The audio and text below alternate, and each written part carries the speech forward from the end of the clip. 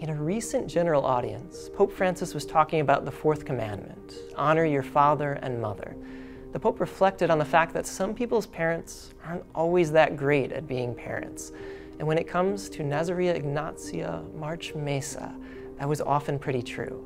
Nazaria was this holy, faith filled girl who, at a very young age, heard the voice of God and declared that she would do everything she could to follow him as closely as possible. With this incredible faith pouring out of their little girl, you'd imagine that her parents would be inspired, right? Drawn into their own piety and dedication to God. Not so much. Her parents and her family were often sick and tired of her prayers and devotions. At one point, they even grounded her from going to Mass. The situation easily could have turned her off from church and God, something that happens to a lot of kids today.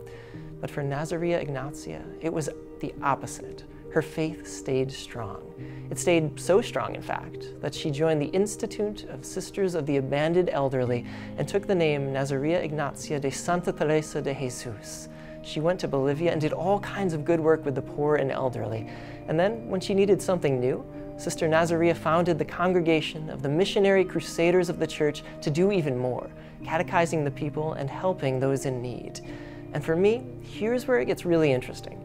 When Sister Nazaria started that new order, she was named Superior and became Mother Nazaria. Now, with the way that she'd been treated by her own mother and father, you might think she'd have a tough time really connecting to that role as mother. But the reality could not have been any different.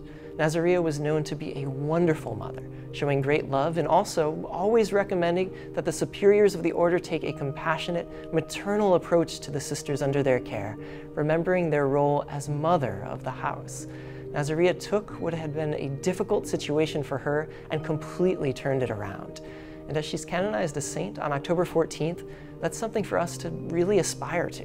Whether it's the failings of our parents, our friends, or just the world in general, we can all try our best to not get dragged down by what's been done to us.